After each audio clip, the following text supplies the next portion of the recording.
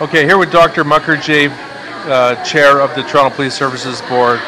And Doc, um, you know, there's obviously major change uh, going to be talked about uh, in the next uh, few months and, and beyond in terms of replacing uh, the current chief with a new chief and a new model.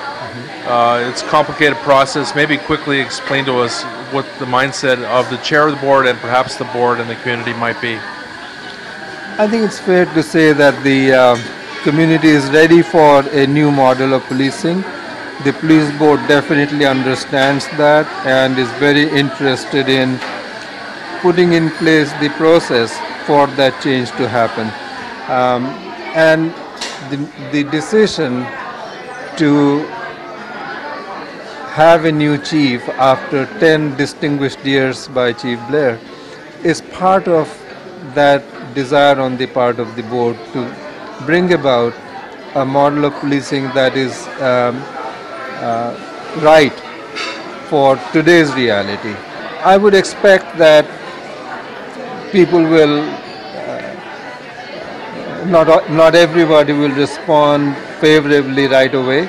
I think it would be important to engage all the stakeholders, including the association, in uh, serious conversation and understand their concerns and try to uh, acknowledge and um, respond to them.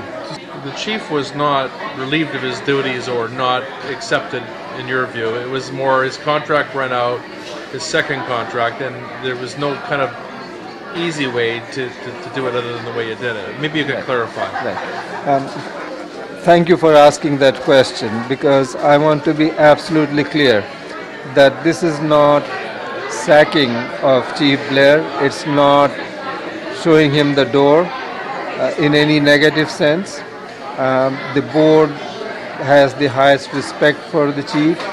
We recognize that you know there have been some difficult periods, but on the whole, he has been an outstanding chief for this city board's view is that 10 years is an, is an excellent run for a chief of police. In fact, in Toronto, this is the first time in a long time that we'll have a chief who will have served for 10 long years.